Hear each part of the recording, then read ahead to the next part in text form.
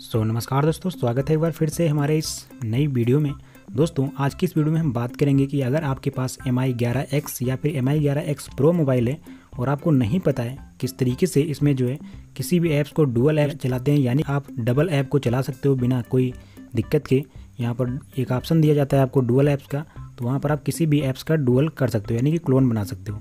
तो चलिए दोस्तों बिना टाइम वेस्ट के वीडियो को शुरू कर देते हैं और जानते हैं कैसे आपको डुअल बनाना है। तो सिंपली आपको चले जाना है अपने मोबाइल की सेटिंग में और सेटिंग में जाने के बाद आपको यहाँ पर सर्च बार में लिख लेना है क्लोन।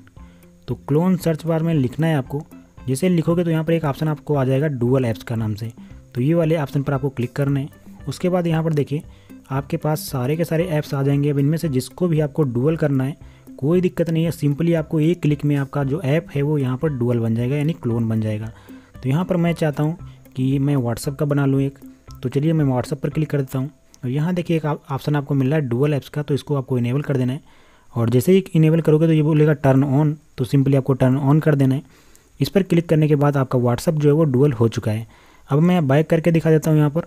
अब अगर आप चाहते हो तो इनमें से कोई भी ऐप को यहाँ पर डुअल कर सकते हो दोस्तों। ये यहाँ पर बहुत ही अच्छा फीचर दिया गया है। आप पूरे मोबाइल से जितने भी ऐप्स हैं सभी का यहाँ पर क्लोन बना सकते हो बिना किसी ऐप को डाउनलोड किए। तो दोस्तों अब मैं आपको दिखाता हूँ। यहाँ पर मेरा जो व्हाट्सअप है वो क्लोन हो चुका है। यहाँ पर आप देख सकते हो कि एक ये मेरा जो क्लोन है और ये वाला जो मेन व्हाट्सअप है। तो इस तरीके से दोस्तों आप यहाँ पर जो है किसी भी ऐप्स का क्लोन बना सकते हो।